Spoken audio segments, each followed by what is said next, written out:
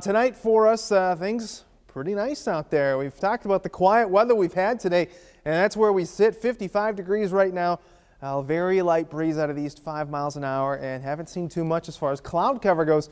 Make its way into central Iowa to the southeast. Still seeing a little bit of cloud cover push in. Otherwise, any rain chances holding off into Nebraska and up into the Dakotas. You can see the moderate rainfall uh, falling, I guess, northeast of North Platte and south into Kansas. So we go regionally here, whole load of rain off to our south.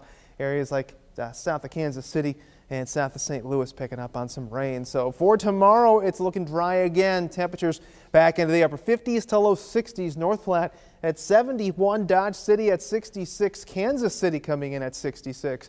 So if you're planning on going for a run tomorrow, really any time is fair game. We have great conditions in the morning, 41. That breeze is going to be light all day long, and we'll have a little bit of cloud cover floating around out there. Otherwise, plan on a sunny one and a beautiful day again in the afternoon. We're going to be talking highs back in the upper 50s to low 60s. So let's track out some of the cloud cover. You can see that forming off to the west. That will likely be with us just into the late evening, early morning hours before that breaks up. So bulk of the state starting off with sunshine, more clouds building to the west tomorrow evening. Even though we've got clouds, we stay dry for the most part. You look Wednesday morning, got a chance at a stray, stray sprinkle to the north.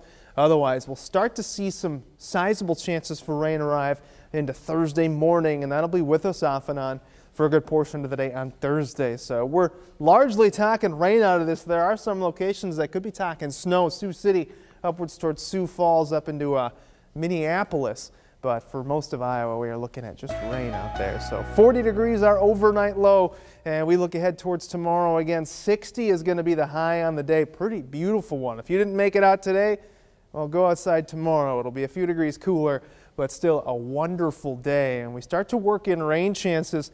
Uh, we saw some of those on Futurecast, mainly through northern portions of the state Wednesday morning. Wednesday still looking to be a gem, though, at 65.